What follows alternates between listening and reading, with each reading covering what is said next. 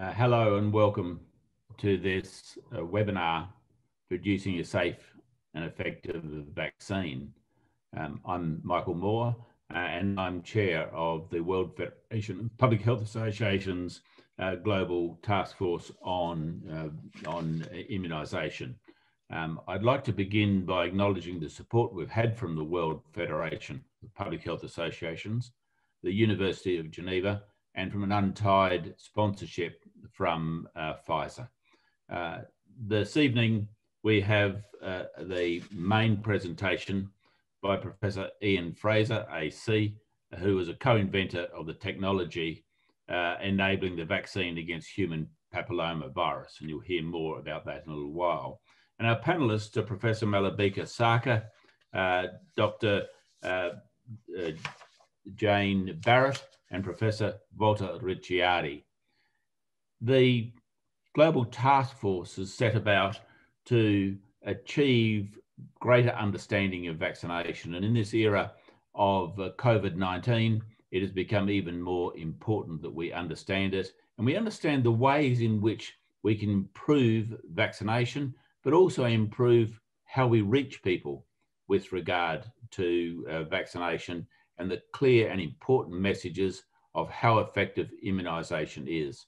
And uh, it's very interesting to me that uh, many times I hear people talk about the risk of vaccination. And I think it's a really clear message that we have to keep in mind. Although there are risks associated with vaccination, the risks of disease are so much greater. And, uh, and that in itself is a very important um, issue. So um, it's my pleasure now to uh, introduce Professor Ian Frazer. Uh, Ian is a clinician scientist. He's trained in clinical immunology in Scotland and is a professor at the University of Queensland. He's recognised as co-inventor of the technology enabling HPV vaccines uh, currently used worldwide to help prevent cervical cancer. He heads a biotechnology company, uh, Jingang Medicine, uh, Australia Property Limited, and working on new vaccine technologies, and is a board member of several companies and non-profit organisations.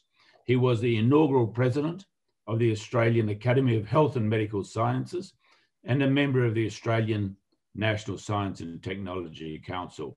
He chairs the Australian Medical Research Advisory Board uh, of the Medical Research Future Fund, and he has more than 20 really prestigious science awards. Uh, but it's not just in science. Uh, uh, Professor Frazer was recognised as the Australian of the Year in 2006. He's received awards for science from the Prime Minister, and he's a companion of the Order of Australia. Uh, it is my pleasure to introduce Ian Frazer.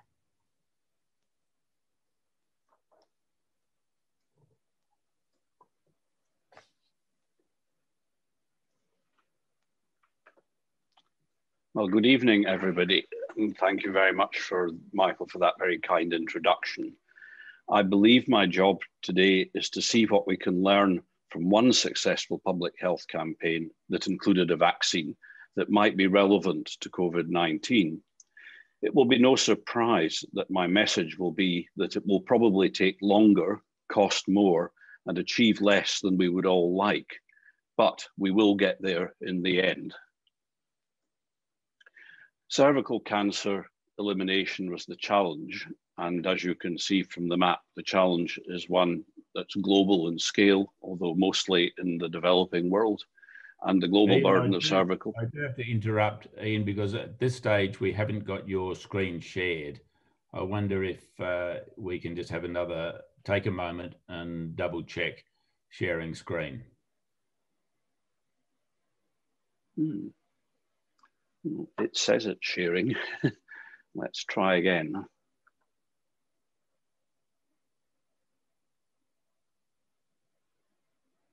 Are you seeing my screen now?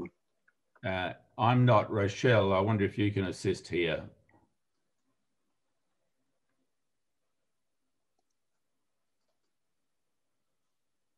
Uh, Ian, we can now see your screen. Thank you. Thank you. Okay. It's not the first time that that's happened to me. So, as I say, I believe my job this evening is to see what we can learn from one successful public health campaign that includes a vaccine that might be relevant to COVID 19. And it will be no surprise that my message will be that it will probably take longer, cost more, and achieve less than we would all like. But we will get there in the end. Cervical cancer is a global challenge. We lose 330,000 women to cervical cancer every year, mostly in the developing world. And this is a disease which is still in the developing world increasing in frequency. The history of the attempt to control cervical cancer goes back to George Papanikolaou, who came up with a screening test for cervical cancer was first described in 1928, where he looked at cells from the neck of the womb under the microscope and saw cancer cells and realized that this might be a potential way of diagnosing cervical cancer. He finally published the work in 1943, uh, so it took quite a while for the message to start getting out there. But perhaps the most significant thing is that it wasn't really until there was a plan for national screening introduced, that the ben benefit of this new test to help prevent cervical cancer was evident until about 1987 in the United Kingdom, where these data are from. Cervical cancer and frequency did not diminish, even although a, a, program of screening had been mooted and introduced. It was only when coverage was reached by a national call recall program that the, there was a sufficient level of coverage that the number of deaths from cervical start, cancer started to fall. The real breakthrough with cervical cancer, however, came with the recognition by Harald zur Hausen and his colleagues that this was a disease caused by a virus infection. He, Professor Zurhausen, initially speculated based on the knowledge that he had from papillomavirus causing disease in animals that it was possible that cervical cancer, which was mapped as a disease that was tr transmitted through sexual activity, might be due to a papillomavirus. And it was his colleagues, and particularly Lutz Gissmann and uh, uh, Hans Eichenberg, that went on to show that there was actually papillomavirus DNA in cervical cancer tissue using the then new technique of DNA measurement through southern blotting. And that set the scene for controlling cervical cancer as an infectious disease rather than as merely a, one amongst many cancers. The reality was that treating HPV infections themselves was and remains a challenge. The only effective means that we have to treat HPV infection is to destroy the tissue that contains the infection rather as this gentleman is suggesting that you do with a shotgun. Uh, and unfortunately, 550 people on Facebook recommend this, although in times of Trump, perhaps that's not so unusual now to see Facebook recommendations for things which aren't quite effective. Preventing the infection, nevertheless, would seem much more sensible than trying to treat it, given that only destructive treatment is available. That became possible because of Harald zur Hausen's observe, observations in the 1980s. And uh, his observation was that there were at least four viruses that might be involved of the papillomavirus family in causing cervical cancer. What he didn't know and what we subsequently learned was, of course, that these infections were very common. So it was important that we understood the natural history of the disease to make a sensible decision about how public health measures could be used to control it. The data on the screen here show that uh, the uh, from if you look at a group of college students and time zero in the graph in the middle there is when the college students entered college and test them regularly for HPV 16, which is the highest risk human papillomavirus, then there's a linear increase in infection rate such that after three years, half of all of the population that were screened clear of the virus when they came to college had acquired HPV 16. Of course, the good news from the practical point of view is that if you look at the graph on the right-hand side, and time zero is then 100% of a group of people infected, then over the course of five years, 98% of those people will clear the infection themselves without ever knowing that they've had it. Nevertheless, this is a common infection, and there are two common HPV types associated with cervical cancer and several rarer types, such that it takes about eight or 10 different types to cover more than 95% of cervical cancer. And as I say, most of these infections resolve spontaneously, and unfortunately, 1 to 2% will progress to cancer over a period of between 5 and 25 years, with a median of about 15 years unexpectedly, it's possible to detect the precancer changes that Papanicolaou described as early as one to two years after infection. So there's a long time before the precancer cells turn into cancer. This gentleman is, uh, is my late colleague, Dr. Jian Zhou, and he and I together uh, worked on developing a vaccine to help prevent cervical cancer. Uh, that became possible because of a new technology that was available at that time using eukaryotic gene expression systems to express the major capsid protein of the virus in the laboratory. This was necessary because it's not possible to grow papillomavirus in the lab.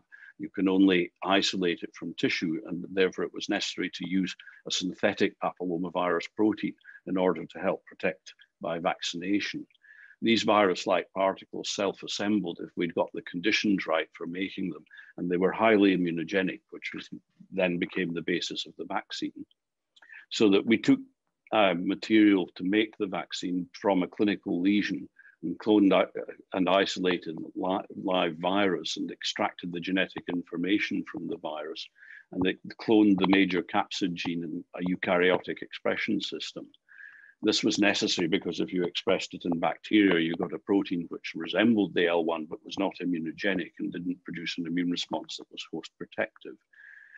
The virus-like particle purification was a challenge which we undertook on very small scale, but industry had to deal with in large scale. And that was one of the reasons why the development of the vaccine took so long, because getting from the teaspoonful of vaccine material that we could produce in the lab to the much larger quantity needed to develop a vaccine program globally took several years. Nevertheless, it became possible and the vaccine bit was based on these virus-like particles and an alum adjuvant. About, it was in that sense a very conventional vaccine with a very conventional adjuvant and protein. And that became the basis of the vaccine being tested through clinical trials it's worth pointing out that there was a patented technology involved in that, which was very important for persuading the vaccine companies to take the vaccine uh, challenge on, because uh, if that had not been a patented process, that would be very unlikely that they would have invested the $2 billion that it took to drive the program from 1991 when we came up with the technology through to 2006 when the vaccine got launched so that the patenting, the patented technology was based on the eukaryotic expression system and a couple of genetic uh, observations, which made it unlikely that, that you would have got to a vaccine by any means other than the way that we chose to do. That, of course, is all public domain information. The virus-like particle technology has been widely used since then for developing vaccines. We did the work back in 1991, and I suspect we're probably one of the first groups to use uh, make virus-like particles. But when I looked in Medline recently, there were something over 200 publications every year for vaccine development using virus-like particle technology we didn't probably do the make the vaccine in the most efficient way. As I say, it was necessary for the companies to take other ways to do it. We used a vaccinia expression system originally, and then a baculovirus expression system. Others found better ways of making particles uh, using yeast and using insects, uh, insect cells to express the proteins. And these people contributed very significantly to the development of the vaccine technologies that led to the vaccines we now have to prevent cervical cancer so that this was a story which spread itself out over 25 years, including quite a large amount of work done by industry. And I recognize particularly Kathrin Jansen and Ed Scolnick at Merck, who put a great deal of effort into turning what was our research project into their development project and eventually into doing the clinical trials. The most important part of the observations was that the that these virus-like particles work by producing antibody, a very conventional way of providing protection against infection, and that the protection was long-lasting and safe. The, to prove that required very large clinical trials because, as I pointed out, only 1% to 2% of people who get this infection will go on to develop uh, even a pre-cancer, let alone cancer. And so the trials that were done initially involved tens of thousands of people and they were randomized placebo-controlled trials, of course. And the endpoint that was chosen for these trials was for the disease that has to be treated if you find it, which is cervical precancer, CIN23. And with that endpoint, of course, we only expected to find 1% to 2% of the 10,000 women that would develop the disease in the placebo recipient group. The vaccines turned out to be 100% or near 100% effective, which I can, must confess was a surprise, but a very pleasant one when we got the data back. But there are two uh, caveats on that. One is that the vaccine only worked in HPV naive subject. If they'd already had the infection, then there was no evidence that it helped prevent disease. And also that the vaccines only protected against the types of HPV that were present in the vaccine so that we as I mentioned, know that there are at least 10 papillomavirus associated with uh, cervical cancer. And uh, the, the original vaccines just had two types, types 16 and 18, and then two types that cause genital warts, type 6 and 11. The vaccines we now have use nine different HPV types and give about 95% coverage. The original vaccines used just the two and gave about 70% coverage against cervical cancer. And there was, of course, resistance to their use. In fact, there was a whole industry grew up in trying to convince the world at large that these vaccines were neither neither effective nor safe, and uh, that that in fact continues to this day. Although I have to say, very very much less now than was the case back in 2006. In the time after the vaccine was launched in 2007 in Australia, and we were one of the first countries in Australia to adopt it, the first evidence that this vaccine was working in the field as opposed to in clinical trials was the very dramatic reduction in genital warts that occurred amongst the uh, women under the age of 21 who had, were vaccinated in, the, in 2007. And by 2011, genital warts in young women had virtually disappeared. This was a a, a, very significant immediate effect of the vaccination. And it meant that for the, these diseases virtually disappeared from a sexually transmitted disease clinic. Of course, the woman over 30 who hadn't been vaccinated, there was no change in the prevalence of genital warts. The interesting thing from the practical point of view was that the, the genital warts also disappeared in the unvaccinated male partners so that from 2007 on, again, there was a very dramatic reduction in genital warts amongst men under the age of 21, although they had not been vaccinated, because the, the herd immunity effect kicked in and reduced the risk that these, these men would actually get genital warts. One thing that we learned confirmed fairly quickly after the vaccines were introduced was that these vaccines were not therapeutic. If the vaccines were given to young women under the age of 14 who had not been sexually active, then they got good protection against cervical precancer, about 75%, which bearing in mind that these were women vaccinated with HPV 16 and 18, and therefore only protected against 75% of cervical cancer. There was seven, at least 75% protection against cervical precancer in the woman immunized at the age of 18 of 14. But if you look at the woman immunized at the age of 17, where there had been considerable prior exposure to the virus, then there was a much lesser reduction in the instance of cervical precancer, indicating that those women who had already been infected were not protected against the disease progressing on to cervical precancer. So we need, need something for those women who are already infected, and that's indeed something that my research work is pursuing to this day. But the major challenge was getting this virus where it was needed. There was a major disparity between the initial vaccine programs that were rolled out back in 2007 to 2010, which the countries were shown in green on this map, and where the major burden of cervical cancer was, where the purple circles are. And that this was really uh, an indication that we weren't getting the vaccine most where it would be most effective. We did a project in Vanuatu, which is a near neighbor country of Australia, with a, a problem of uh, many developing world countries that it doesn't have a particularly organized health system. Uh, Vanuatu has about a quarter of a million people spread over 50 islands, about two hours flying time northeast of Brisbane, where I live. And they only have 25 doctors where there's 250,000 people. They have 91 parliamentarians, all male. And that was uh, one, one of the reasons why it was a bit of a challenge to get the vaccine introduced there. And they had the usual problems with vaccine delivery that they had only one vaccine fridge for all the 50 islands and no reliable electricity. If, if the power went off, then diesel generators were available, but the diesel was never there to run them because it was purloined for other purposes. Any rate, we I went out and surveyed in Vanuatu and found that amongst 500 well women over 30 in, in Port Vila, the capital city, five of those women had cervical cancer when we screened them, and another 17 had cervical precancer, which puts the incidence of cervical cancer in Van, Vanuatu amongst one of the highest globally. So we introduced a vaccine program, and while I'm shown there in the picture as actually delivering it, in fact, of course, the program was delivered by the Nivanu people themselves. Uh, the program depended very much on a process of education, and that was done by the Nivanu district nurses who went to the schools and educated both the children and their parents about what the vaccine was about before the program was introduced. So that there was already a wide amount of knowledge about both cervical cancer and the vaccine and its safety before any vaccine programs were started. As a consequence of that, we were able to achieve quite a good coverage with the vaccine in Vanuatu. And uh, comparing Australia where we immunized 12 to 18 year olds with a knocked out program and managed to get 90% coverage for the first dose of vaccine and about 86% for all three.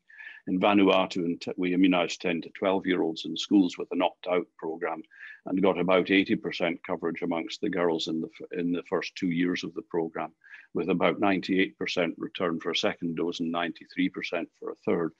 So we were able to show quite convincingly that uh, uh, given the free vaccine, it was quite possible for Vanuatu to deliver the vaccine programs effectively in Port Vila. And then we went on to demonstrate that they could also be delivered effectively in the other islands. At the moment, they're covering about half of the population of Vanuatu, between 10 and 12 each year, with a vaccination program paid for largely by UNICEF and in part by charitable donations. Bhutan taught us another lesson. This Bhutan, the program there was sponsored uh, by by uh, Merck, and they provided vaccine and uh, delivered by the Australian Cervical Cancer Foundation, an Australian-based charity. We went across there to meet up with the royal grandmother, who's the small lady with the pink scarf sandwiched between my wife and myself in that picture. She had decided that uh, since India was uh, offering a vaccine program to some young woman and, Bhutan, she wanted to have healthy women. She would arrange for a vaccine program if we could find the vaccine. And she just told the two gentlemen in the saffron robes, the Minister for Education and the Minister for Health, that uh, a program was to be delivered. She was the royal grandmother, and her law was her word was basically law in that country. And they delivered a vaccine program very effectively there.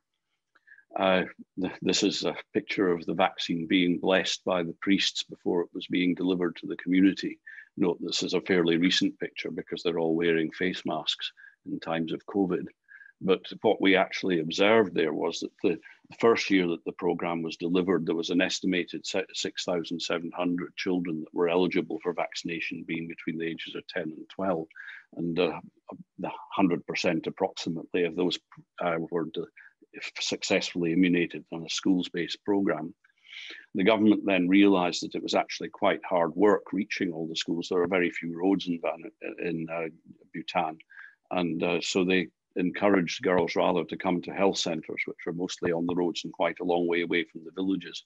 And then immediately there was a significant drop off and the vaccination rate fell to about 60% of the eligible girls. And that continued until the program returned to being a schools-based program in 2014. And again, the vaccine rate was much more successful after that. So the moral to the tale there is try and keep the program schools-based.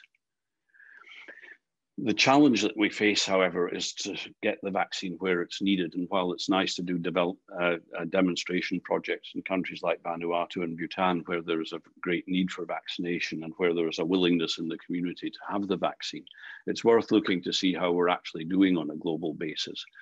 Over the last uh, 20, 15 years now, we've delivered over 300 million doses of vaccine worldwide. Now, if that big orange box represents those 300 million doses and the 25 million people alive today who will die of an HPV induced cancer, then the theoretical benefit from the vaccine delivered will be 3 million lives saved. If one in 100 people will get cervical cancer uh, in their lifetime. And therefore, we, are, we should, in theory, have saved 3 million lives by the 300 million doses of vaccine. But the reality, when you get down to the nitty gritty of it is that the likely practical benefit will be nearer 10,000 who will avoid a cancer because almost all of the vaccine to date has been delivered in countries in the developed world where there are already very effective screening programs to help prevent cervical cancer. And therefore, the benefit, the additional benefit of vaccination is actually quite small. That's obviously something that we need to rectify. One of the challenges that we face is that this vaccine was originally developed to be a vaccine that was given three times. It's kind of a traditional thing about vaccines that you give three doses of vaccine, but it wasn't immediately clear that that was necessary. And after some early studies, it was shown that at least in under for children under the age of 16, two doses was as effective as three. But two doses still requires a a, a, program where you keep records and where you note who's been vaccinated and who hasn't been. And one of the uh, benefits, if you like, of doing big campaign programs is that not everybody who take part in a trial will necessarily get three doses of vaccine.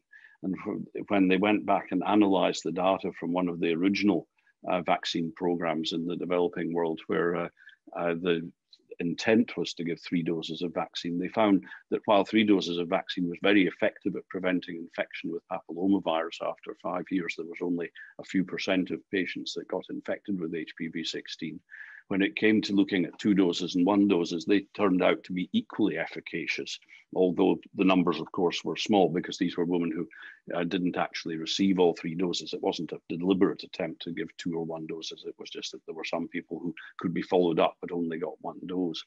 So that one maybe one dose would be effective, and that would of course mean that you could do campaign immunization rather than program immunization, and just go through and immunize as, as, a, as a matter of a campaign once and try and get as many girls as would be eligible. So the big challenge for HPV vaccines these days, first of all, what age to immunize because it has to be given before sexual activity. And in Vanuatu, that means before the age of 10 years, whereas in Australia, you can uh, be reasonably comfortable with immunizing at the age of 14 where to immunize. Well, schools-based programs work in Australia and they work in Bhutan and they work in Vanuatu and they don't work so well if you then try and do them elsewhere. So it seems logical to have a schools-based program. How many doses? Well, probably one dose might be sufficient, but it would perhaps break transmission cycle, but two doses is the proven, the proven efficacious number of doses. And then the question is whether we need to introduce the nine valent vaccine globally because it's more expensive than the two and four valent vaccines, which cover HPV 16 and 18. And the answer, as I'll show you in a minute, is that we probably do need to use the nine valent vaccine because of the significant part of, of the burden of cervical cancer that can be attributed to the other virus types. Do we need to immunize only girls or should we be immunizing boys as well? Well, boys get cancers caused by papillomavirus. Uh, they get anogenital cancers, although not nearly as frequently as girls will go on to get cervical cancer, but they also get oropharyngeal cancers. And at least in Australia, oropharyngeal cancer caused by papillomavirus is now more common than cervical cancer caused by papillomavirus. And it's a disease which is mostly a disease of men. And then, of course, there are men who have sex with men and can catch the infection that way. So it seems better to introduce a universal program. And on top of that, you then get the benefit that nobody asks why you're only immunizing girls and are worried about there being some unexpected uh, mes message about perhaps causing sterility or whatever. So given the efficacy of herd immunity, maybe single dose mass immunization would be the most cost effective across the globe. So the World Health Organization is now talking about cervical cancer eradication, and the aim of the exercise is to try and achieve that within the 21st century. Uh, in Australia, we're targeted to get our rate of cervical cancer down to a level where it becomes a rare disease, four cases per 100,000 women per year by 2020 or 2025. Uh, that will probably not work globally, but uh, they, but if we manage to introduce both screening and vaccination, it's estimated that it should be possible to eradicate cervical cancer on a global basis by the end of the 21st century. But we do need to include the other HPV types in there because the blue, the red line shows what will happen if we do both the uh, the HPV 16 vaccine and screening, uh, but only if you use the nine valent vaccine from now. And the blue line shows what happened if you only vaccinate because you'll lose all the women, the protection of the women who have already got HPV infection. So it's important that we cover all the bases with the program screening uh, through uh, HPV detection and cervical precancer detection and nine valent vaccination. So I'll just finish with a thought in comparing poliovirus and papillomavirus. Poliovirus, like papillomavirus in lifetime risk of catching the infection is about 50%. Uh, this is pre-vaccine, of course.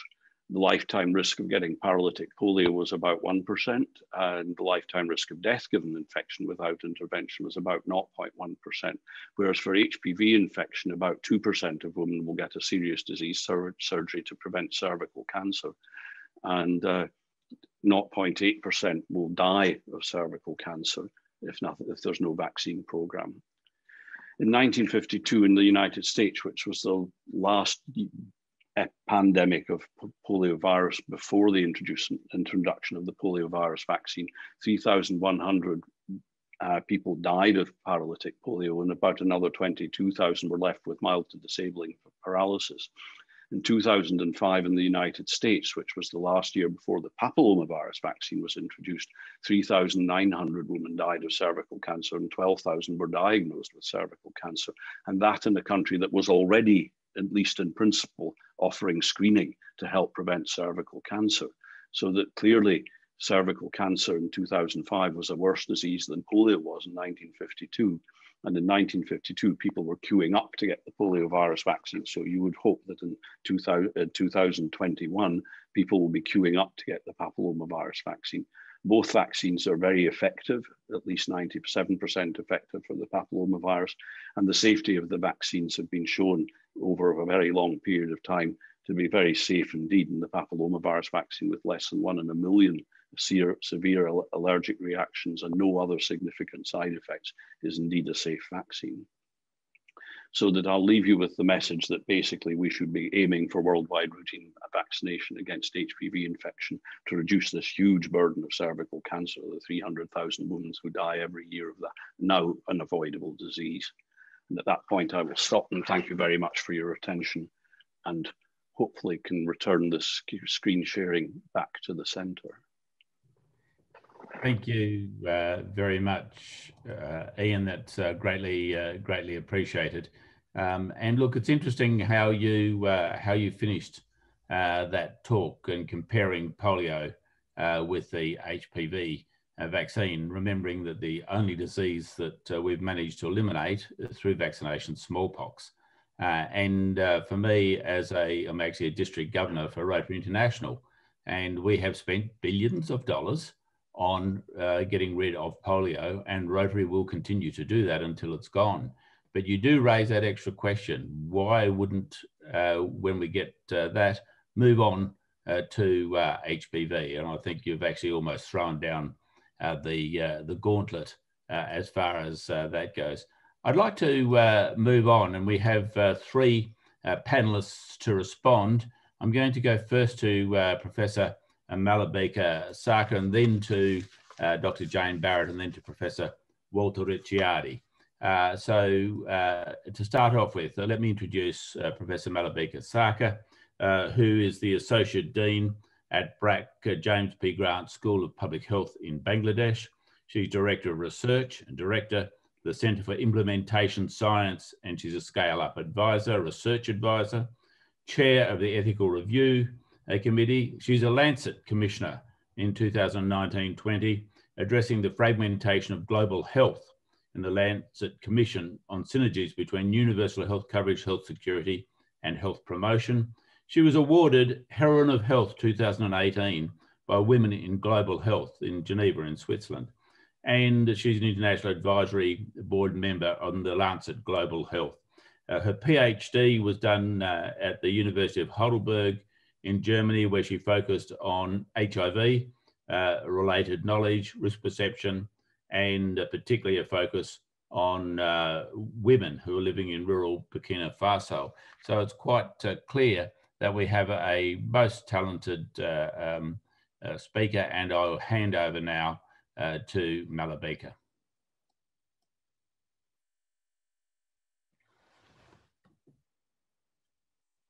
Uh, Malabika, Thank you, Thank you uh, Michael. So, um, so whenever we talk about the vaccine, I think I'm just because I'm from a low-income country and uh, with a resource poor setting, um, uh, like, you know, there are several issues that you need to consider the low-income country setting. Uh, definitely there are three. Uh, one is that what is the safety of the vaccine? Uh, in that context, um, it's also a question for, you know, the recently we're discussing of the COVID, uh, like, you know, HPV vaccine and others, because most of the times the vaccine that we develop, it's not kind of that way tested in, in low income country settings. So uh, what, how the malnutrition status uh, of that population can affect the safety of the vaccine. And um, it seems like, you know, HPV has a long history of the, like the way it developed and there are a lot of other trials and 98%, almost 100% uh, the efficacy of the vaccine. Uh, but the second uh, issues in, in terms of the low income country that is the uh, do we need that vaccine? That because there's a priority in the country setting that what vaccine is needed. And if we think about the HPV vaccine, if you look at Bangladesh, that uh, definitely cervical cancer, we don't know much about the cervical cancer because there's not much uh, community-based data uh, that available. But if you look at the, like a recent report 2019, which uh, reported that around there are 8,000 cases annually and the 5,000 deaths. And uh, they expect that 4.4% of the women um, actually infected uh, with human papillomavirus.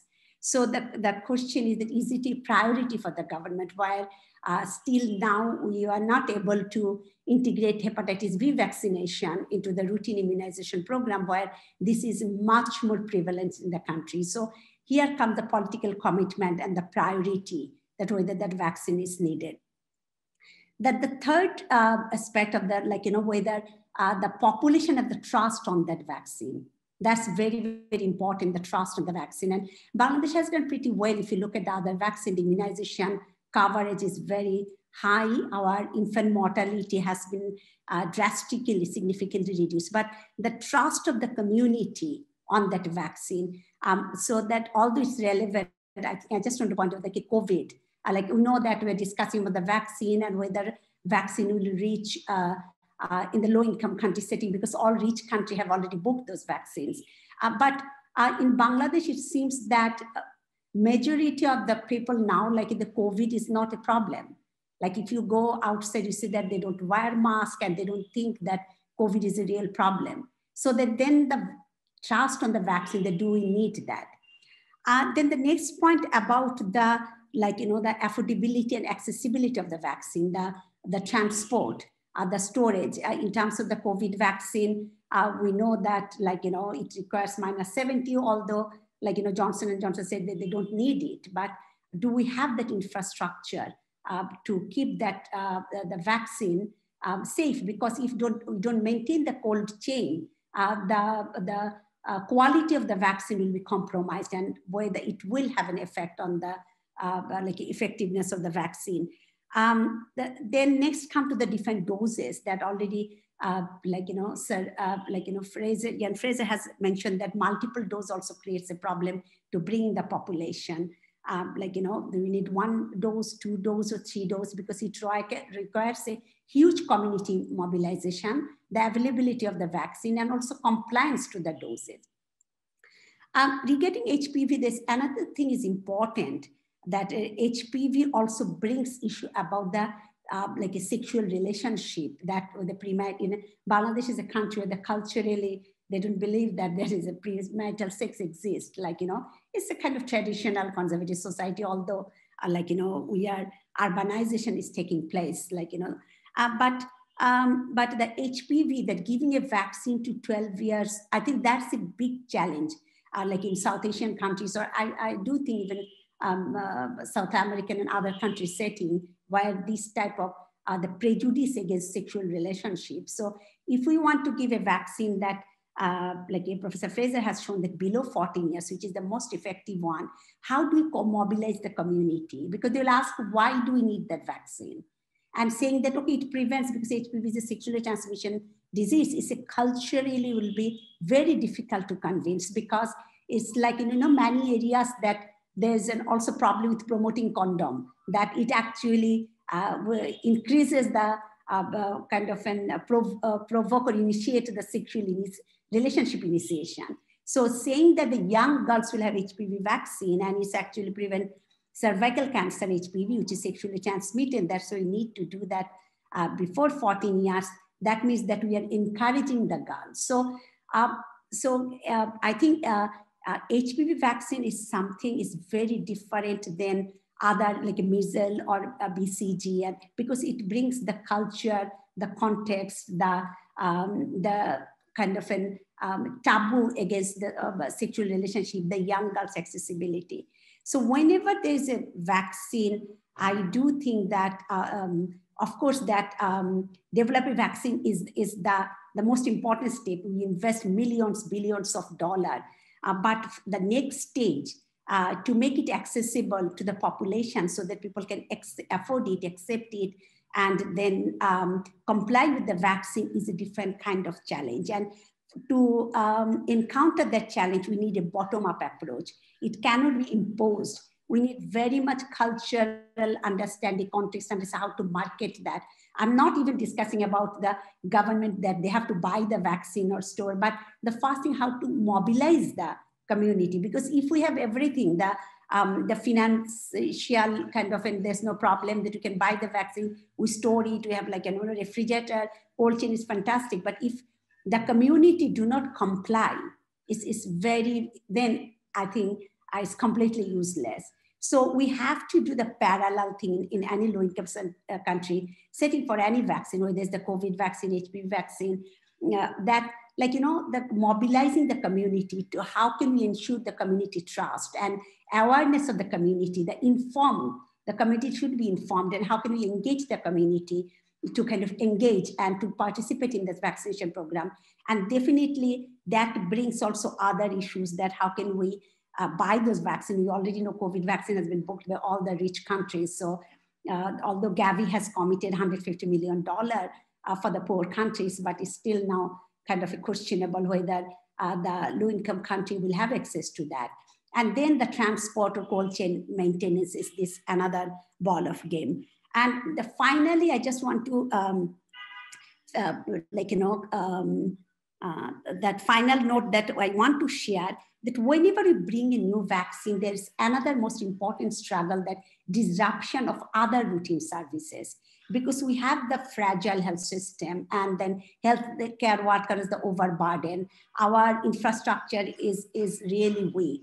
So when there is an we introduce a new vaccine that how much it will actually disrupt the ongoing vaccination program which is having really successful and then actually save millions of children health um, thank you very much michael i think i'll stop here and i will answer later on if there's any question Malabika, thank you so much for your uh, for your response, uh, and uh, you certainly raise a series of uh, issues, starting with cold chain, and then equitable, really wrestling with equitable distribution of uh, of um, vaccines.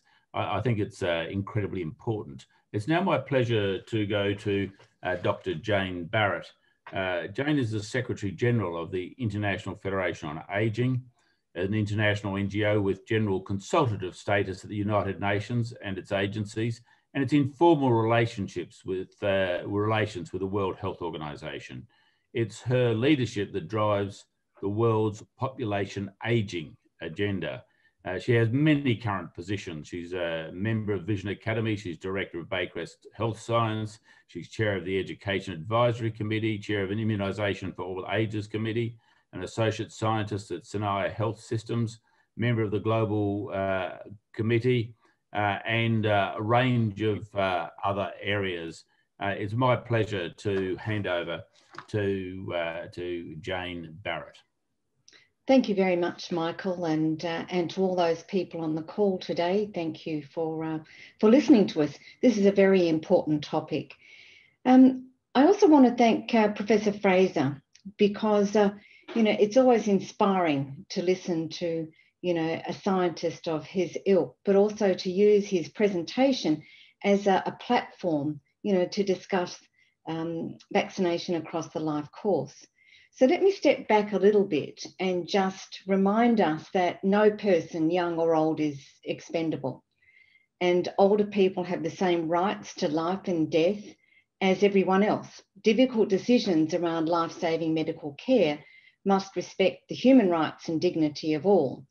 And, you know, these discussions have been very front and centre, you know, when we're in the midst of the COVID pandemic you know, what struck me with Professor Frazer's uh, presentation, you know, was the deep understanding of the local situation. And I think that each of us today will be talking very much from a local situation, you know, at a country level, but also at an intergovernmental level, you know, WHO and the United Nations. Immunisation throughout life or a life course approach is a key pillar of expanded prevention strategies that can save millions of lives and is a central component to universal health coverage. But if we step back and think, if vaccination uptake rates are the main indicator of campaigns, then the campaigns are mediocre at best. And we also need to understand that WHO has been referring to the 10 threats to global health, um, all of which are directly and indirectly related to vaccine preventable diseases for some time. There's a general failure of health authorities to acknowledge and adequately fund the prevention and treatment of infectious diseases that cause severe and enduring social and economic consequences for not only older adults, but across the generations. You know, and one of the questions I'd like to ask Professor Frazer is to what degree are grandmothers and fathers part of the campaign to ensure uptake rates of uh, vaccination HPV. We also have to understand that there is a fundamental disparity in, in targets, best illustrated by the WHO influenza targets of 90% for children and 75% for older people. Now, do we need to question that the life of an older person is, is any less important than the life of a child. And we don't. And yet, you know, it's very difficult to challenge, you know, those targets, but we must. Three pillars that IFA speaks to constantly when we're looking at vaccination rates, whether it be um, respiratory conditions, infectious diseases such as influenza, pneumococcal pneumonia, shingles, pertussis. You know, we speak of prevention, access, and equity. And if we look at the public health messages generally from government portals, and we've just completed a, a major study of this, it is assuming that everybody has the same level of health literacy, which is not the case. And so we really need to go back to the basics in understanding the content of messages, the channels of messages, and to ensure that messages are targeted to the populations that we most need to reach. Many people have said during COVID, this pandemic, that the poorest of the poor will pay the highest price. And that's happening pre COVID when we talk about adult vaccinations. What has happened though here is that COVID has brutally exposed cracks in our healthcare system and absences in our healthcare system in every single country of the world, both low and middle income and high income. And the shocking facts and consequences of vaccine preventable diseases alongside natural and man made barriers. So we understand the barriers, you know, we understand the complexities, you know, of vaccine gateways and vaccine pathways. We have an understanding of the importance of the message, whether it's a threat based message, whether it's interactive, whether it's a public health day, which increases um, influenza vaccinations and others. So we need to go back to that conversation, particularly as we move forward and start thinking about what kind of infrastructure needs to be in place for the COVAX vaccines, but also how do we reach those populations most at risk when older people in many countries are being told to stay in their home, don't go out, get family to bring groceries in, etc., but then keep mobile, keep interacting with others. So there's confusing messages on a number of different levels. We also need to be realistic about the current investment in health promotion and health prevention practices, and it's shamefully low. And so while governments must think about reorientating their healthcare system to prevention and promotion, they actually need to invest. But we're in the midst also of austerity measures that are coming down the train tracks. So the World Federation of Public Health Associations, as well as partners across disciplines and sectors, need to be standing up and voicing our serious concerns about the lack of investment in health promotion and prevention, and also ensuring that infrastructure is in place. What we need now is collective voices of action. Health healthcare professionals globally, they're required urgently and immediately to not only look at the pathways that we need for future vaccination, but also to protect the progress that we've made in vaccine uptake targets. So I'll stop there, uh, Michael, and thank you for the opportunity and look forward to uh, responding to questions and having a conversation with my eminent colleagues. Uh, thanks uh, so much, Jane. And you've now added another uh, uh, paradigm here to the conversation. And we're going to come back to that. And I will remind people who are attending that we are taking questions and will respond to questions uh, in a uh, in a short while. So um, I think that the next thing uh, here is uh, for me to uh, um, remind you about that, to remind you about it. We do have a couple of questions have come through and we'll move on those shortly. But first, I'd like to introduce Professor Walter Ricciardi. He is the president of the World Federation of Public Health Associations. He's professor of hygiene and public health at the Catholic University of the Sacred Heart in Rome, in Italy. Uh, he's the director of the World Health Organization Collaborating Center for Health Policy, Governance and Leadership at the Institute of Public Health Medical School at his university. And he's uh, uh, has been president also of the European Public Health Association uh, in 2010 and 2014. In 2017, he was appointed Commendatore of the Italian Republic by the decree of the President of the Republic uh, and appointed a member of the executive board of the World Health Organization in 2017. Uh, Professor Walter Ricciardi. Thank you very much, Michael. Uh, first of all, let me thank you on behalf of the World Federation of Public Health Association for your chairmanship in this immunization task force and the office uh, for having organized this important series of webinar that are uh, with a presentation like Professor Frazer's one, enlightening us in understanding how we can work all together in ordinary times, because what Professor uh, Frazer described is the current uh, evolution of a vaccine since the discovery of the fundamental research. By the way, uh, Professor zur Hausen was the inaugural chair of the board that I'm chairing now of the European Commission. And I can tell you that uh, we are taking very seriously the, uh, the inspirations that uh, he left us in order to fund basic and fundamental research, clinical uh, uh, research, translational research, health services and health systems research in order to face the challenges that uh, we are facing. And additionally, the pandemic is, is, is putting us under stress. And um, I, I, I, want to tell you the story of the incredible events that we are living in the last months concerning uh, European, uh, uh Un European Union and member states, because vaccination in Europe, in the European Union, is uh, one of the few responsibilities of uh, member states alone. But what has happened, I think, is incredibly important for the future of vaccination worldwide, because what uh, is happening is that by the initiatives of four member states, uh, namely Italy, France, uh, Germany, actually UK before Brexit, then uh, Netherlands joined in replacing UK, we started what is called an inclusive alliance uh, for vaccines, uh, paving the way for the 27 member states for first of all, developing a pathway to contracting in a different way.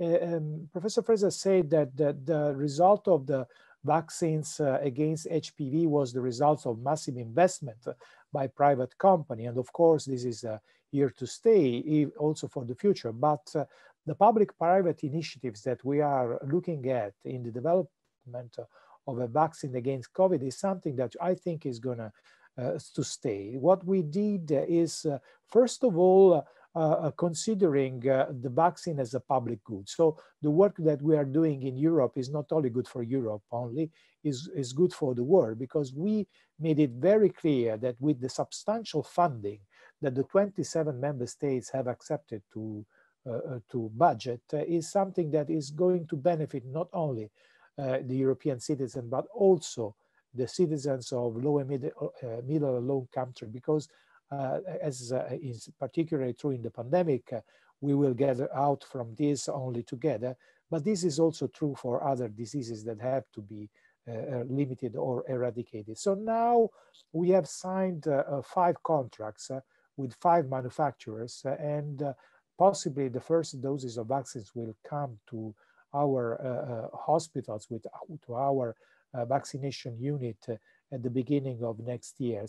And these contracts have not only been signed uh, for the 27 member states, but also for the Euro Euro European economic areas, of course, rich countries such as Norway or Switzerland, but also from, for the poor uh, Balkan countries, uh, North Macedonia, and also Ukraine, uh, that for the first time is benefiting for uh, from a deal that is involving also the protection of their citizens. But we uh, ensured a substantial budget, or approximately 1 billion euros, for uh, providing COVAX uh, facilities with additional vaccines that have to be uh, uh, dedicated to low and middle income countries. So the European perspective, I think, and the collaboration between public and private is changing the way in which uh, the vaccination has been uh, thought in the past and is taking into account uh, also the issue that have been uh, repeatedly raised by all the previous speakers. So the coordination for communication.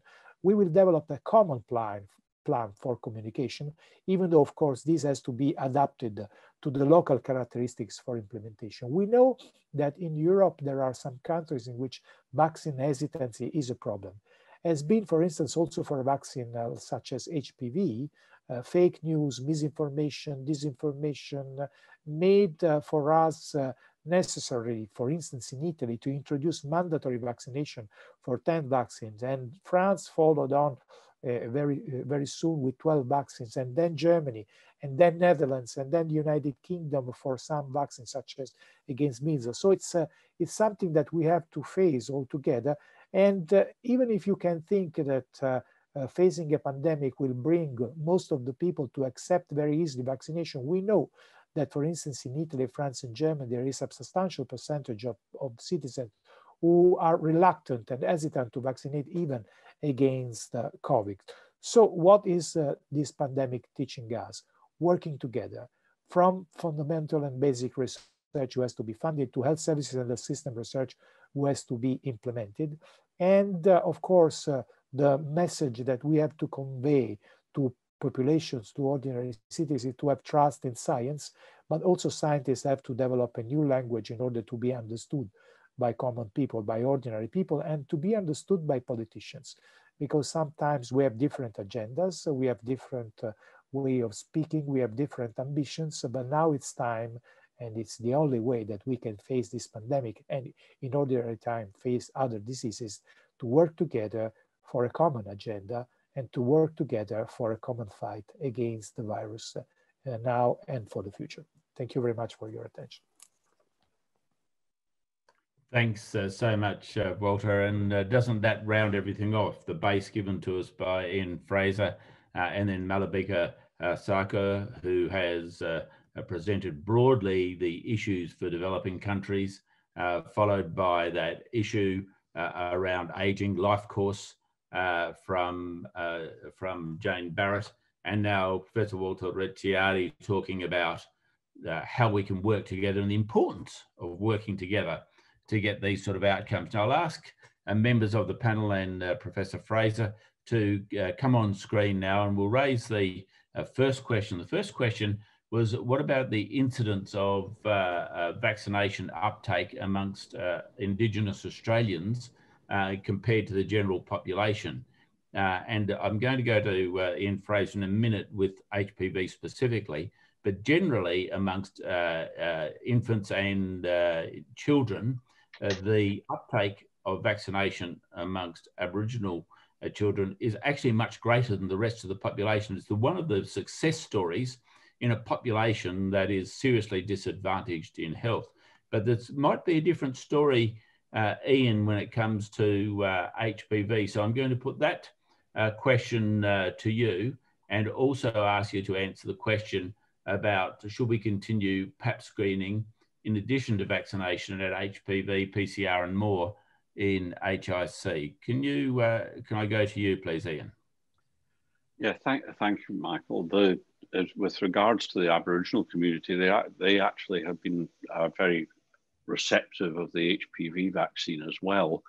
Uh, obviously, in Australia, that vaccine is delivered free of charge, and the uptake rate for the vaccination has actually been higher in the Aboriginal community than it has in Brisbane, my hometown, uh, which is a very reassuring observation that we've got the messaging out there correctly. The, the Aboriginal woman understands cervical cancer. Uh, the question as to whether we should be uh, uh, looking at uh, the issue of uh, both HPV vaccination and testing for HPV as a screening method is basically an economic one. The obviously the most effective means of helping prevent cervical cancer is to do both, particularly uh, to immunize young people and then to screen the older women who haven't had the benefit of vaccination. And that basically is the WHO recommendation is that we should aim to target uh, young teenagers with the vaccine and test twice in a lifetime, if that's possible in the developing world, for HPV as a means of catching cervical precancer in the woman in, the, in their 30s and 40s. Uh, it's a belt and braces approach if you do both the va vaccine and the testing, but uh, if you do vaccine or testing, then that's cost effective.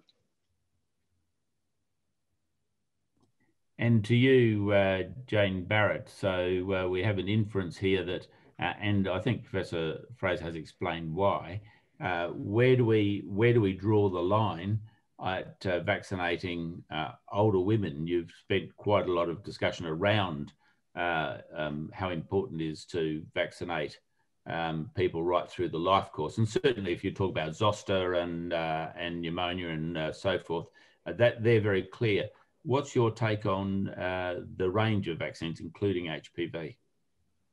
Oh, look, Michael, you know, I'm not, I'm not the scientist here. I'm the advocate.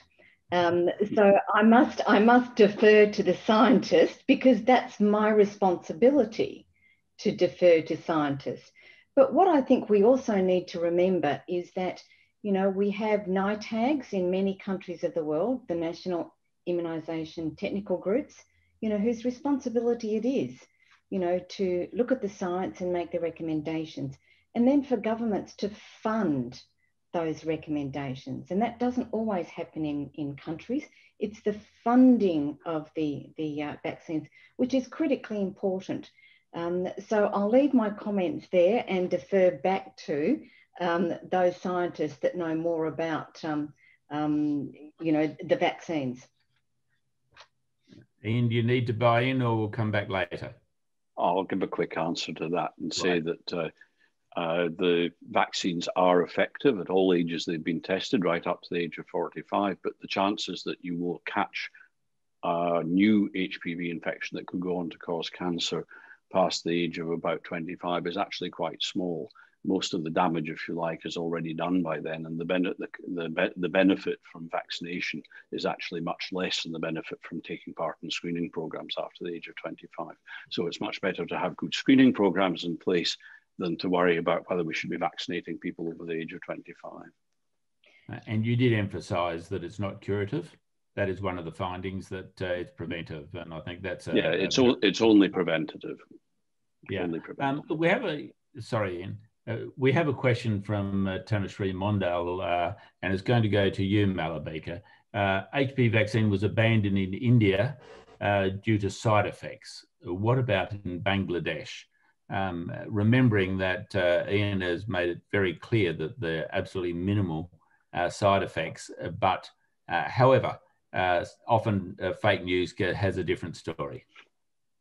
Um, so Bangladesh actually Ministry of Health has implemented a two years kind of a demonstration project. It's like a semi-urban, semi-urban district, um, two years and it's ongoing. And there are a lot of criticism of that program that the girls were not well informed, why boys are not included. And so, um, so now it's hanging there. So it has been, has not been expanded after that. It's limited to the demonstration, but few actually the private hospital offers HPV vaccine, but in terms of the general uh, public in the uh, nationwide, there is not in kind of, I would say the systematic approach yet, but uh, there are few publication related to that demonstration model project and a lot of concern about ethics and uh, the approach and the way it has been done. Uh, thanks, uh, Malabika. I'm going to go to Professor Ricciardi and talk about vaccine hesitancy because he touched uh, on that. And a couple of our questioners have asked what is the most effective way uh, to go about dealing with the vaccine hesitancy? And I know there's a, a number of opinions on this, uh, particularly in the face of, and uh, Walter, you mentioned things like fake news and so forth, but there's also social customs, taboos uh, emerging diseases, uh, priorities uh, as, as well. let's start with you and then we'll let others buy in. I, I, I, can tell you my experience. When I took over as president of the Italian National Institute of Health in 2014, all the vaccination coverage uh, for the recommended vaccines were under the, the, the, the, security, the safety threshold. So I launched an alarm and I started a kind of persuasion activities together with the Minister of Health. After two years, we realized that this was not effective. In, uh, we had an, an incredible uh, outbreaks of measles uh, with, with, with children death. And we realized that at that stage was too long and too time consuming to promote vaccination among a group of uh, people, in particularly parents, that were not only hesitant, uh, they were in a, a, certain percentage hostile, and uh, you know, in, with a confirmation bias, uh, actually practices the kind of misinformation in social media. So after a strong debate in parliament, we introduced mandatory vaccination for 10. And actually in, in less than two years, uh, uh, the, we, we, we, we uh, caught up all the threshold. And also the vaccine hesitancy dropped down because uh, essentially parents were obliged to go to local health authorities and to engage in conversation. And when the, the, the healthcare professionals were good, they convinced uh, parents on the basis of this kind of interactions. And that was the same for France uh, after uh, six months and for Germany and even countries such as Britain that traditionally have really much pushed for voluntary vaccination is thinking about this on uh, on uh, for measles vaccination. When it comes to HPV, we didn't. Uh, I mean, I, I, we didn't include that in the list. In Italy, we offered for free to all 12 years old uh, females uh, and to 11 years old males. So it's it's it's a campaign which is going not so well as we wished because, in our opinion, again, there is a confirmation bias by as a substantial part of the population. And so I, I don't have an answer. I think uh, uh, that possible the answer would be a combination of uh, mandatory and voluntary. Uh, uh, in my opinion, uh, mostly mandatory for small children and voluntary for, for the other age groups. this is working in, in Europe. I don't know if other members of this panel have different experiences, but. I think that you, are, you need a combination of the two. Uh, let's go to uh, you, Malabika, and see uh, how you might handle vaccine hesitancy in uh, places like Bangladesh. Um, I think it, it requires a very kind of a community mobilization that vaccine hesitancy because we have been successful. We are one of the most successful country in terms of the child immunization. And because the government and non-government organization like BRAC and others, they actually work together. And uh, like, you know, so uh, there have to be a kind of an, and it was mobilized by the community health worker and those who are trusted actually in the community. It's not somebody from the city went there and tried to mobilize. So engaging community and mobilize the community health worker, giving a very kind of an uh, information, the good information, clear messages, but at the same time, you have to make it accessible. Because if we mobilize the community and we fail to deliver, it also creates a uh, distrust. And also engaging the key community leaders and identifying those who can kind of a potential, can create uh, resistant potentially and engaging them from the very beginning. So I would say that a very kind of an, uh, like a community mobilization, engaging community, uh, bringing the key uh, stakeholders in the community is a, is a good way to actually uh, proceed to reduce the, uh, the vaccine hesitancy. Thank you. Yeah, thank you very much. And uh, Jane, did you want to add there and uh, put it in the broader context if you wish? Sure. Look, I agree with both of my colleagues. It's a multi pronged approach, but this is not a quick fix. You know, this takes a long time to understand. You know, we've got populations that are moving across, you know, the world constantly. And so the cultural nuances of the local situation need to be recognized I think one of the most important aspects that I've become aware of is the way that public health messages don't meet the levels of literacy of the community that we're trying to target. And so I think there needs to be a lot more work in what is the message that we're trying to actually communicate and how are the people hearing that? You know, we're, we're in the field, so we understand how to communicate, but how are the people that we want to be vaccinated listening to this? Because I think that we don't do that as well as what we should or could. Um, and so it's a very much a, a local approach and a lot more work on messaging. This is going to be very, very important, Michael, you know, when we're actually thinking about the COVID vaccine. Um, you know, one question that I'd like to ask my colleagues is how are we going to manage healthcare workers who are not vaccinated, you know, against COVID? So it's a very nuanced approach. We need to do a lot more in terms of our messaging and understanding how people hear the message and what action they take.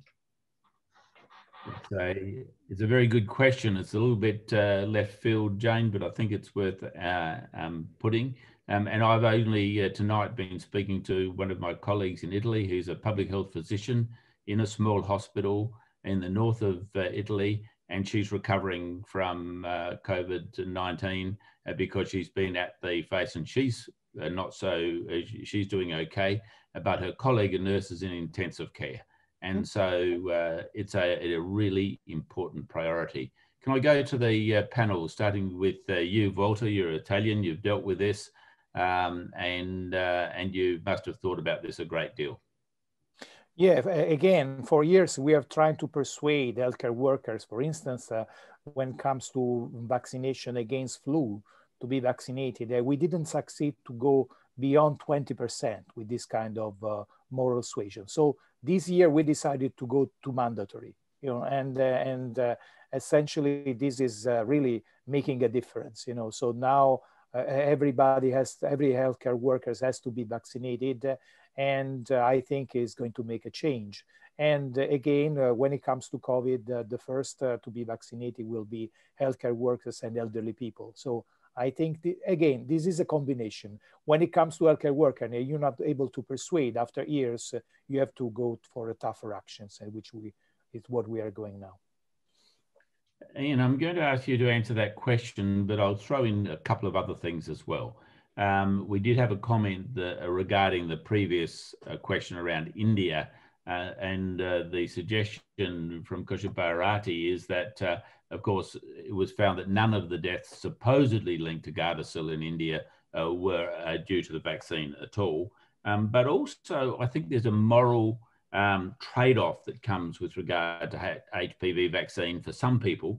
Uh, and certainly, we know that some early teens, girls, where we're focused, uh, was uh, there was an argument that this would encourage promiscuity. Uh, how how was this handled? First of all, uh, in Australia, and uh, secondly, uh, how do you think it, it should be part of our thinking in terms broadly of vaccine hesitancy? Yes, it's interesting to reflect on the fact that when it came to flu vaccine this year in Australia, there was such a demand for flu vaccine that in fact the supplies ran out because people recognized that there was a there had been a bad flu pand- epidemic, not not last year but the year before, and people were quite nervous about the flu. I have to say that the, the, the experience is one of the major drivers of behaviour in almost all of humankind, and if you've experienced an epidemic of something, then you realize that it's an important problem and will take any measures that you can safely take to prevent it.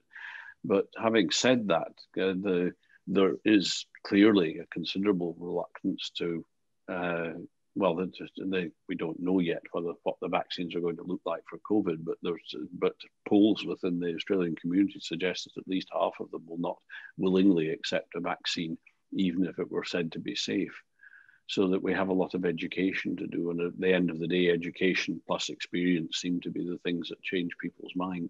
The papillomavirus vaccine was different, of course, and the, it wasn't helped by the fact that one of our politicians uh, got up and said publicly that he thought it would uh, uh, encourage promiscuity in youth. Uh, he changed his mind about that, fortunately, because he was the health minister at the time. Uh, and uh, that was probably not the most tactful thing to say. But uh, the reality, of course, is that these these vaccines start off by being controversial and then become routine, and then nobody even notices that they're being given. And if you go to the developing world countries and look at the uh, there, there is little or no reluctance to take up any vaccine that's offered because they remember infectious diseases. They remember their children dying of infectious diseases and they are prepared to accept that the, the vaccine is better than the risk of their child dying. Uh, obviously, when fake news gets around, and there certainly was a fair bit of that in India in relation to the papillomavirus vaccine there, and cervical cancer wasn't obviously connected with an infection, then the, the messages in messaging is more difficult, and that, that was why in Vanuatu we were very careful to go around and do the education before we started thinking about delivering vaccine, and let people make their own mind up whether they wanted it at least initially, and there was a uh, there was a very good uptake because cervical cancer in that part of the world is quite common. So it always comes down to education. It comes down to having facts rather than suppositions about whether there's a problem or not, which is why it's going to be critically important for a COVID vaccine that we get as early as possible, not just what the companies are prepared to tell us about how safe these vaccines are, but the facts. And at the moment, we're dealing with only newspaper reports, and that discourages people from thinking positively about something. They want to see what the information is, and that's equally true for public health officials as it is for the general public. And fake news isn't just in uh, in developed countries. Uh, of course, the uh, we know the consequence of the outbreak of measles in Samoa and mm. what went there and the number of babies that uh, died as a proportion of their population was uh, horrific. Uh, and let's keep in mind polio. What have we got? Uh, around 130 cases uh, this year in just Pakistan and Afghanistan, and a challenge for those vaccinating because of uh, rumours of infertility amongst the, the boys. Uh, so yeah, these there are still uh, big challenges in in each of in each of these areas. Um, but I'd like to, it's the issue really that was raised by almost everybody is the issue of inequity and distribution of uh, vaccine. And, uh, and this may well come back with regard to HPV, but uh, I think we're at the moment we are aware of the work of, uh, of WHO, Gavi, pharmaceutical companies or through COVAX. Uh, I wonder, do we foresee that this same sort of process will apply to other vaccines, such as uh, um, HPV. I wonder if I can start with you, Malabika, because you uh, inequity was a major driver in uh, in your talk. Um, I'm really worried about the COVAX distribution because, uh, like you know, simply that in, N95 mask distribution we have seen in Bangladesh, it has been distributed not to the health worker but to the government official, that the police, and then you know other. So when the vaccine comes particularly where there is a political agenda or vested agenda.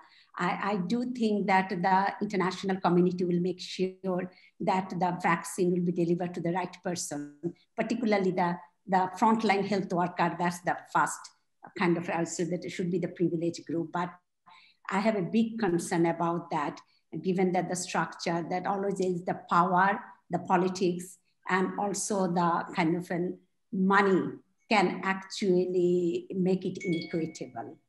And that's my one of the biggest concern. Yes. Jane, older people seem to be more vulnerable to uh, COVID. Uh, I wonder how you perceive it. We are all agreed that health workers, the frontline workers, uh, should be first. What about the uh, next uh, tranche of the distribution? Sure. Um, I just want to remind everybody listening that in Canada, 82% of the deaths have been older people. Um, and and we, we, need to just keep coming back all the time to this. Um, so, and you know, older people are one of the three groups that the WHO has clearly identified healthcare workers, older people, and those with underlying chronic conditions. You know, older people are not vulnerable people. Older people are older people and I think that we we we confuse we confuse that. Um, I come back, Michael, to the fact that at a country level, you know, NITAGs and other regulatory bodies will make a decision about the age eligibility. And I also make the point, and it's a really important point that we don't often talk about, that you know the natural process of immunosenescence comes with age we talk about chronological age, but we don't talk about immunosenescence as being a risk factor. And so I think that will need to come into play when we talk about, you know, those who are eligible. In the country that I live in, in Canada, um, in one province, you know, the age eligibility for a high dose flu vaccine is different to all other provinces, you know, in the country. So even in Canada, there are inequities across the nation. And so it does behest organisations like IFA, but also diabetes, lung, um, cancer, um, to, to, to actually be part of the advocacy, but also talk to governments because they actually are the voice that can reach, you know, these people in the community. Thanks, Michael.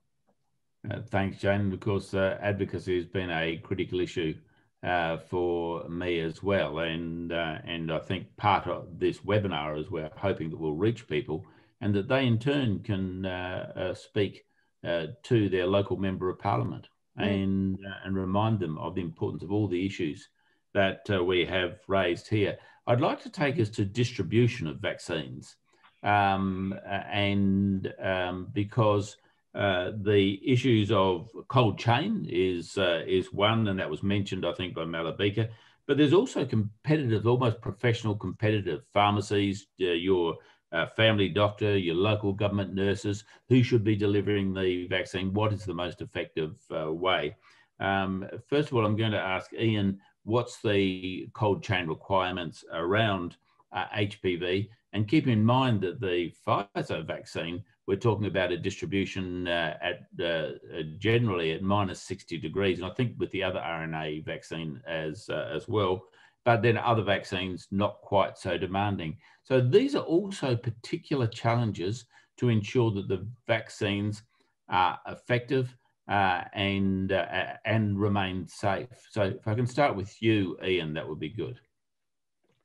Well, as far as the papillomavirus vaccine is concerned, the recommended storage temperature is four degrees, as it is for most vaccines. But the vaccine is 30 day rated for uh, uh, I can't remember, I think it's to, uh, to 27 degrees centigrade storage. So it means that it will have 50% of its potency left after, after 30, 30 days at 27 degrees centigrade in a humid environment. So that uh, obviously that allows the distribution of the vaccine more effectively in the developing world. And indeed, that was one of the major issues that was has been discussed over quite a while about whether we really need to have an effective cold chain beyond the point where the vaccine is stored in the country. And the short answer to that seems to be no. And not all vaccines are quite quite so robust as that one. Some of them, of course, are more robust, but some of them much less. And as you pointed out, one at least of the RNA vaccines that's uh, uh, being promoted for COVID-19 requires minus 80 degree freezer storage, according to the uh, the literature that I've seen so far, which really rules out almost every means of distribution, even in a developed world country like Australia, where minus 80 freezers are relatively scarce commodities and they're all full of other stuff so that the, we, would have quite a challenge to get a program that was based around minus 80 freezers. So we'll, that will obviously determine which where that vaccine might reasonably be used. Uh, so uh, I think that the, the, the distribution of these new vaccines for COVID-19 is going to be a critical issue. Uh, how, how, how much, how quickly, under what conditions can it be stored, who will give it, I mean, it would be really nice if we could self-administer it. It would be an awful lot easier than having to find a whole queue of people that were prepared to deliver it. And uh, maybe one of the things that will come out of this is that we will take some of these self-delivery technologies that are becoming available for vaccines and promote them rapidly to get them used in the, at least in the developing world. Thanks. Uh, and anybody else like to comment on that? I do have a, another question or sort of a reaction, really. It's important uh, to deal with those who are hesitant uh, with a little bit more consideration. Writing off their concerns as fake news is not appropriate. Uh, where is public health stance on health choice and recognition of uh, individual beliefs? And look, I think it's an important question.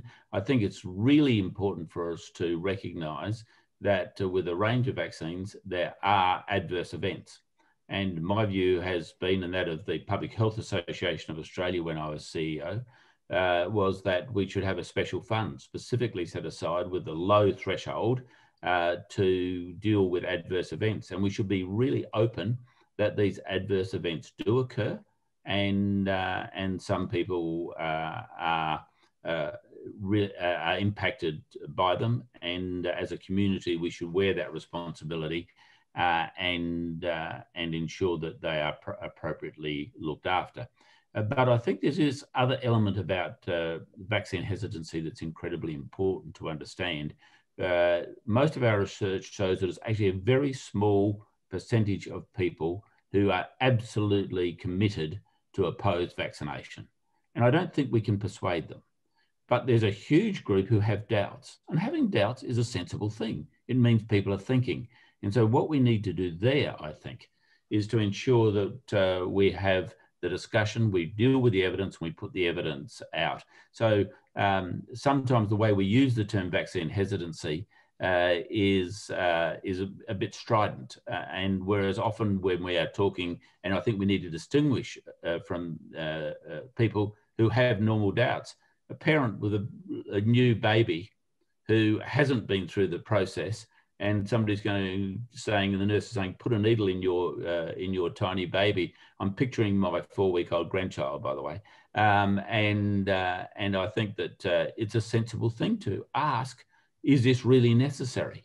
Uh, so if you call that doubt uh, hesitancy uh, that's that is a healthy thing but we have to be just as um, thorough in presenting our research as health professionals and making sure that our, our medical practitioners also have the evidence so that they can uh, reassure people. And I think that's a really important thing in terms of uh, hesitancy.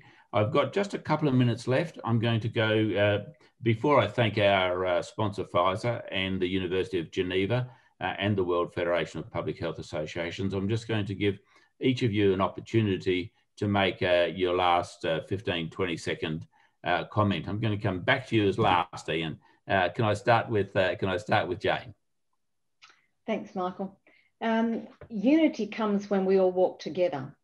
Um, we have a unique opportunity across sectors and across disciplines towards a common agenda and a common approach.